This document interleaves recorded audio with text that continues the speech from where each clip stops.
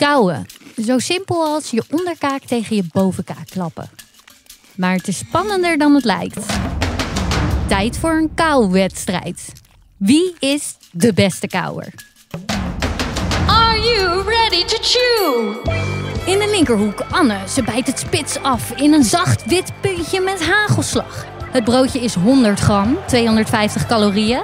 Dat ziet er soepel uit, Anne. In de rechterhoek Eliane. Zij zet haar tanden in een hard broodje. Krokante korst, extra veel zaden. Precies even zwaar en evenveel calorieën als het zachte witte puntje. En stop de tijd. Anne heeft haar puntje al op en Eliane is pas op de helft. Maar toch, gefeliciteerd Eliane. Met haar 240 kauwbewegingen en Anne met haar 80 staat Eliane op winst. En waarom meer kauwen beter is voor je lijf, leggen we je in de komende 10 minuten uit. Waarom is kauwen goed voor de lijn? Dit is de Universiteit van Nederland. En voor het antwoord op onze vraag gaan we naar Wageningen, naar Guido Kamps. Hij wil met de nieuwste ontwikkelingen in tech de wereld overtuigen van het belang van het oeroude principe kauwen. Hij koppelt zo twee totaal uiteenlopende werelden aan elkaar. Guido, leg uit. Ja, ik heb uh, diergeneeskunde gestudeerd en kunstmatige intelligentie, oftewel AI, Artificial Intelligence. En ik combineer eigenlijk die kennis van fysiologie, dus hoe werkt het lichaam, of dat nou een dier is of een mens, wij zijn ook dieren, uh, uh, combineer ik met de mogelijkheid om algoritmes te schermen, te schrijven en techniek te ontwikkelen om beter voedingsonderzoek te doen. Ik ben me gaan richten op kauwen, omdat kauwen eigenlijk een soort voorbode kan zijn voor verzadiging. Dus wanneer stoppen mensen met eten? En beter begrijpen wanneer mensen starten, dat weten we al goed. Ze vinden dingen lekker, ze willen eten, ze hebben honger. Maar wanneer ze nou stoppen met eten, is veel moeilijker om uh, te weten te komen. En als we dat beter weten, kunnen we er ook voor zorgen dat mensen misschien iets minder eten en daardoor wat slanker blijven. En dat is gewoon een grote uitdaging op dit moment. Guido kijkt mee met onze wedstrijd tussen Anne met haar zachte witte punt en Eliane met haar knapperige bol. Wat gebeurt hier nou precies, koudtechnisch gezien? Nou, wat we net hebben gezien is dat mensen eigenlijk hetzelfde broodje eten. Het enige verschil is het ene broodje is knapperig en het andere is zacht. En je merkt dus dat zachte broodje, dat daagt je veel minder uit om te kauwen. En daardoor eet je het sneller op en voel je ook minder vol. En dat laat dus zien dat voeding meer is dan alleen maar de calorieën of de macronutriënten, dus de eiwitten, de vetten en de koolhydraten. Maar het heeft ook te maken met textuur. Dus die textuur, hoe knapperig dat broodje is, beïnvloedt hoe jij eet en dus ook hoeveel je eet. Als je dus zegt textuur laat je kauwen, dan kun je dus ook andersom bedenken. Als er heel weinig textuur in voeding zit, dan kun je eigenlijk heel veel calorieën in een hele korte tijd naar binnen krijgen. En dat is een probleem, want wereldwijd sterven er jaarlijks 4 miljoen mensen aan overgewicht. Alleen al in Nederland heeft de helft van de volwassenen matig tot ernstig overgewicht. Dan helpt het niet dat de schappen vol liggen met caloriebommen waar je bijna je tanden niet meer in hoeft te zetten. Denk aan een zachte candybar of zo. Die, die, die schuif je eigenlijk zo naar binnen, terwijl je een hele grote hoeveelheid calorieën binnenkrijgt. Daardoor overeet je dus makkelijker en eet je eigenlijk meer te veel calorieën op een dag. En als je dat over hele lange tijd doet, dan word je langzaamaan te dik. En dat zien we dus nu ook om ons heen in alle producten die worden aangeboden. Die leveren eigenlijk te snel te veel calorieën voor te weinig verzadiging. Dus daarom is die eetsnelheid en dus ook textuur best wel belangrijk. Een goed voorbeeld is een smoothie versus fruit, maar ook volkoren versus niet volkoren of knapperig versus niet knapperig. Eigenlijk alles waar je meer op moet kauwen en wat niet meteen een soort papje in je mond wordt, heeft van zichzelf meer textuur voeding die veel textuur in zich heeft, die kun je niet zomaar doorslikken. Die moet je vermalen tot hapslik klare brokken. En dat vermalen, dat kauwen, dat brengt, dat maakt de nutriënten vrij. Het is een soort uitdaging, het is vermoeiend, maar het werkt dus ook aan jouw verzadiging. Het geeft jou meer verzadiging als je er meer op moet kauwen. Check. Hoe meer structuur of crunch, hoe meer werk voor je kaken. En als die lekker lang aan het malen zijn, gaat er een signaal naar je hersenen. Dat kauwen en dus het vermalen van het eten geeft al direct een terugkoppeling aan je hersenen van hé, hey, er wordt nu gegeten en dat leidt tot verzadiging. Dus die textuur is een soort uh, hint naar je hoofd van zo lang ben je nu aan het eten en nu moet je er eens een keer mee stoppen.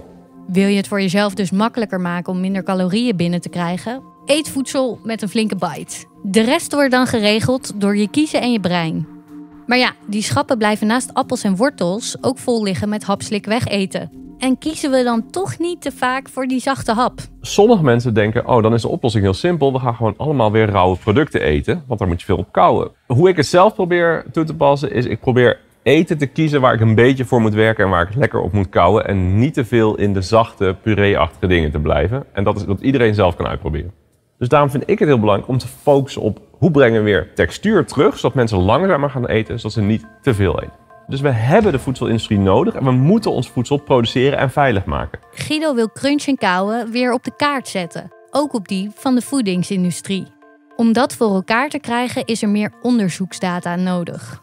Zijn achtergrond in kunstmatige intelligentie komt hier goed van pas. Als je dus wil weten hoe snel wordt iets gegeten of hoeveel kou is er nodig, of als ik een product wil veranderen zodat ik dit goed in beeld kan brengen, dan moeten we het eigenlijk snel kunnen meten. En dan is het handmatig coderen niet een hele goede oplossing, vind ik. En daarom gebruiken we nu AI om dat heel snel te kunnen meten, zodat we heel veel mensen tegelijk met verschillende voedingsmiddelen goed kunnen meten.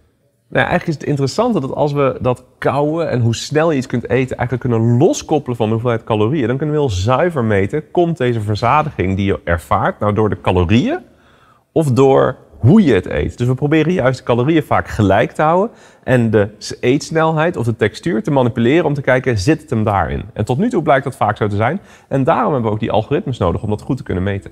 De twee werelden van voedingswetenschap en tech komen samen in Guido zijn werkplaats, de Hungry Robots Lab. Hier werkt hij met zijn team aan iets dat high-tech is, maar niet per se zo klinkt. We noemen dat onze happenteller. Uh, en dat is dus letterlijk een algoritme wat getraind wordt om happen te registreren. We meten jouw gezicht, we zien jouw gezicht, maar dan projecteren we met behulp van AI een soort raster over je gezicht, waardoor we realiseren: hé, hey, daar zit je ogen, daar zit je mond. En dan kunnen we die bewegingen van dat kauwen in beeld brengen en automatisch meten. In plaats van dat we dat handmatig moeten doen. Want zo gebeurt het nu. En dat gaat vrij traag. Op dit moment is de, beste methode die we hebben dat er een videoopname wordt gemaakt van iemand die zit te eten. En dan wordt die videoopname weken later op een computer afgespeeld. En dan zit daar een hele zielige PhD-student of masterstudent de hete te klikken wanneer iemand koudt of wanneer iemand slikt in een Excel. En dan uiteindelijk tel je al die data op. Dat is heel erg arbeidsintensief en het is ook niet het allerleukste werk. En met een algoritme zouden we dat veel sneller kunnen doen. Zelfs zo snel dat we direct feedback zouden kunnen geven. En we kunnen veel grotere proeven doen, waardoor we hopelijk betere data en betere resultaten krijgen. Een algoritme kan eigenlijk constant iets meten, die wordt nooit moe, die wordt niet verveeld. Terwijl heel veel dingen die we nu door mensen laten doen, die vervelen ons. Als je heel lang iets moet observeren om het te meten, ja, dat, daar worden mensen steeds slechter in.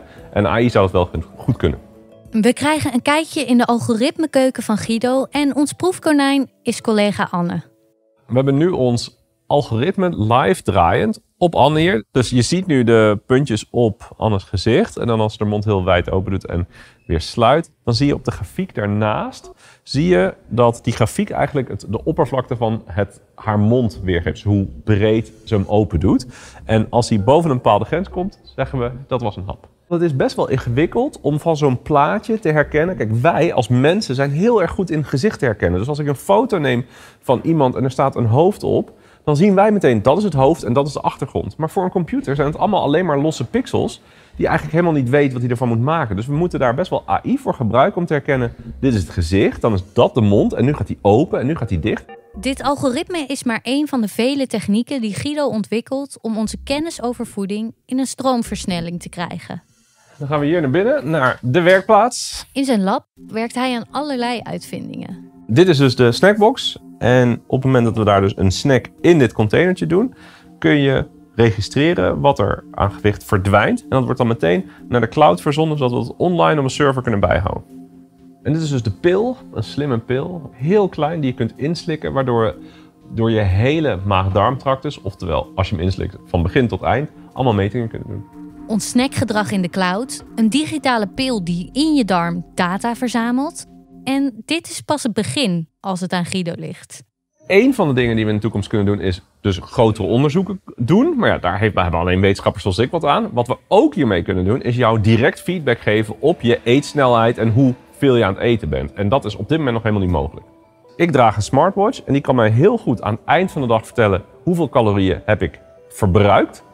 Maar wat ik moet weten is ook hoeveel calorieën heb ik ingenomen. Dus hoeveel heb ik gegeten. En dat weten we nog helemaal niet. En ik hoop dat al die technieken die ik aan het ontwikkelen ben, ertoe bijdragen dat mensen op een gegeven moment beter weten hoeveel eet ik en hoeveel verbruik ik, zodat ze beter kunnen afvallen als dat willen. Laten we de voedingsindustrie ook uitdagen om mee te denken wat is nou een oplossing voor dit probleem. En dat zou in principe kunnen zijn dat ze eten maken waar je meer op moet kouwen. Dit was de Universiteit van Nederland. Een podcast en video in één. Ben je benieuwd hoe Guido zijn lab eruit ziet? Bekijk het op Spotify of YouTube. Maar je kan natuurlijk ook gewoon lekker luisteren. Tot de volgende!